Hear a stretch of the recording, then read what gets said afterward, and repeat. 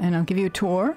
I didn't show a lot of the pink house building. It just just showed the floors and the roof going in and stuff like that and a little bit around it because I showed pretty much all of the um, fancy house, which is very much like it. It's not the exact same thing, but it's really similar. The fancy house has a front and an out bit, and the top kind of looks like that. And the pink house is a little bit different. It's actually a little bit um, more simple, and it just goes like that. It, it looks, if you look at that one down there, right in the middle of the picture, it kind of looks um, like it's tall and thin. But it really has a lot of room inside. And from here, it looks kind of wide. But so I'll show you a bit. I'll I'll go on the outside first. Everything is the same colors as the cathedral theme. And I used uh, purple glass in the windows. You can see a little bit inside the attic there. I'm leaving the attics of the big fancy houses empty so that I or any other player can do what they want with, you know, decorating that, using it for storage, whatever. So on the outside, we have the purple terracotta roof beams and they go in a basic crisscross front and back and side to side and i have a, a chimney here which i used brick for the chimney. I could have used something else but i, I just you know just being normal. Um, and then i put uh, a block in it and put the trap doors on it uh, the red the crimson cherry doors and then a fire for the chimney. That was pretty basic. The roof is uh, waxed green copper and the other green copper. Just to give it a little bit of texture. Yeah, I really like the, the etched look of the chiseled quartz block uh, because it just gives it a bit of texture without even adding different blocks and stuff. From, from a slight distance away, you can see it has a little bit of life to it. And then it's prismarine for the for the center floor and the foundation.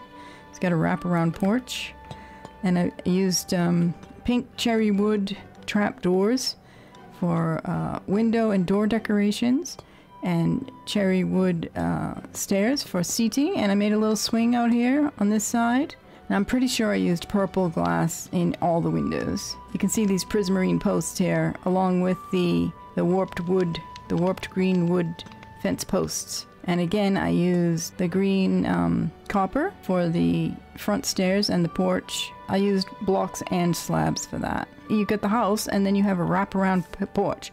So I didn't build underneath it. You can do, you, know, it's usually in real life left open like that. Then I have a side porch and I used purple terracotta for the for the outline of the building too, to match some of the church build. I have a side porch here with the warped green fence, little pots, little pots of flowers. And I used, I'm pretty sure it's a, a, a birch doors I'd used. Chiseled quartz block around the whole bottom. And just decorations of using the cherry trapdoors, even when there are, where there are no windows. I put some po- potted plants on the wraparound fence on the front of the build too. And some lanterns hanging in there so you can sit on the swing at night. Hello, sheep. The upstairs has plenty of windows all around, a little door to come out on its wraparound porch. And we'll go inside and I can show you the inside. I'm gonna shut that door because I have some pet bats around here somewhere. I use the cherrywood trapdoors as curtains, but not on every single window this time, like in the fancy greenhouse. I just put some red uh, crimson buttons on the sides of the walls just for a little bit of decoration and instead of just curtains everywhere. Added a brewery and everything you see in this house is what I saved it as. The library books and some plants and all the paintings I have above the windows. I do not know the names of all the paintings. This, the ceiling is exactly as the floor upstairs. It's not quite a checker floor.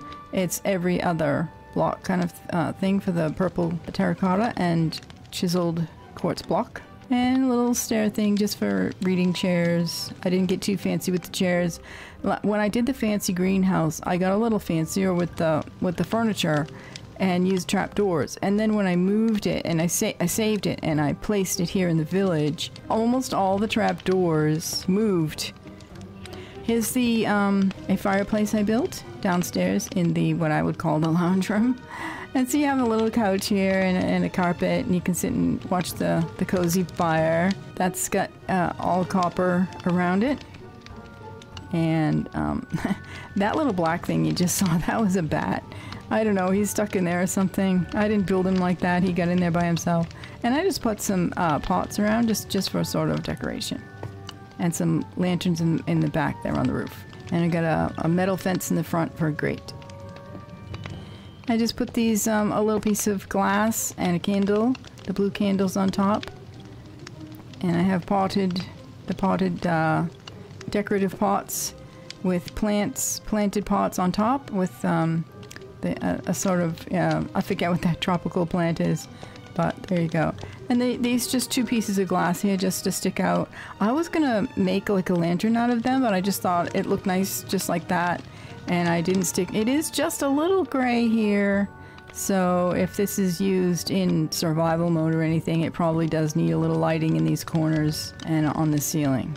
I didn't save a lot in these chests, but I did save some stuff, some seeds, and just just some, you know, basic, a couple of basic things. Some, all, I usually do try to add every house uh, some diamonds and some emeralds, so you got some of that there. I don't think there's anything. Oh, there is a little bit in that one too. Just whatever I had left over as I was doing stuff. And there's some armor there. Let's go upstairs. That stairway. Uh, no curtains on this side of the wall or on that side of the wall. Because I was over, I just felt like I was overdoing it with the curtains. But there's uh, curtains on the sides of the door and the windows over this side.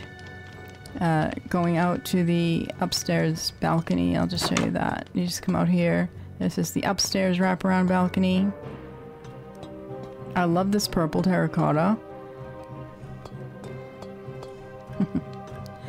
so you get a feel for, you know, the same materials used in the cathedral. And this is what it looks like when you enter the upstairs. I have some paintings on the sides here.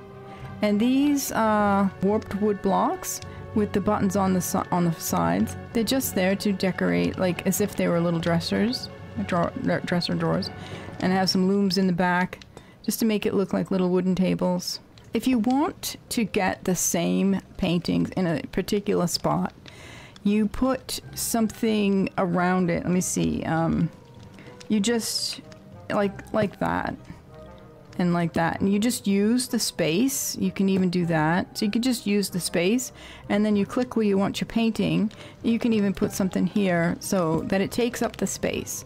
If you want this thin painting right?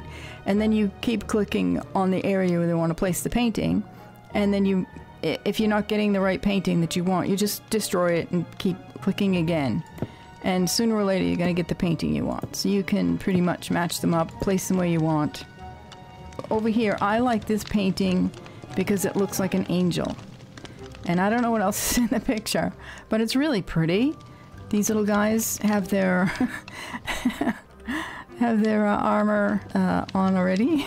and these uh, these end blocks, they're just supposed to be, I figured that would help anybody that had the house, you know, towards the end. There's one, two, three, four, five of them. I just thought that they, they look nifty, like a different kind of little dresser, you know, or furniture or whatever. And you've got your library back here and a, le and a lectern and um, your enchanted book stand and I put a, a little stairway. Now the fancy greenhouse has a ladder just just about over here up to the roof, up to the attic.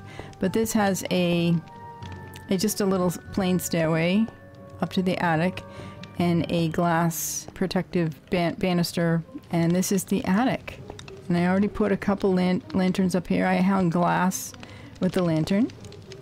And you've got your purple glass, uh, windows and stuff. Purple glass hanging for the lanterns and a little tiny one in the middle. So that's the attic. And you can see the roof and stuff, so. And you can just shape it the way you want and add uh, walls or whatever. And here's the bed. And I have a little carpet in front of it. There's the, that's what the bedroom looks like. And just like the warped wood uh, dressers, I used cherry wood for blocks and buttons for dressers. I put a little amethyst there and a, and a bell. Oh, I threw the bell away. Well, we'll have to fix that. there.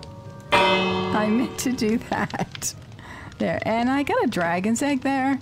The dragon's egg is there just to make it look like it's like a stuffed animal. Purple bed, I just put three there because it's just, it's nicer. And it's not real fancy, but I do have some pink uh, carved blocks behind it. It's not carved blocks, but I forget what they are. Just pink something. Um, pink stone. And I put a little flower there and some candles, because people have candles in their bedroom. Some amethyst things around, just for decoration. And some looms for uh, side tables. Turquoise carpet on the ends here. Paintings on this side too. Yeah, I got some uh, glass. I, I crossed some glass. Really, really simple chandeliers. Nothing fancy. Just to uh, light it up and make it nice and matching and stuff like that. And I've got the purple, uh, a magenta glass. Uh, yeah, I got purple glass windows, but I wanted the, a lot of magenta in here, so I use the magenta glass for the hanging lanterns. And that is the pink house.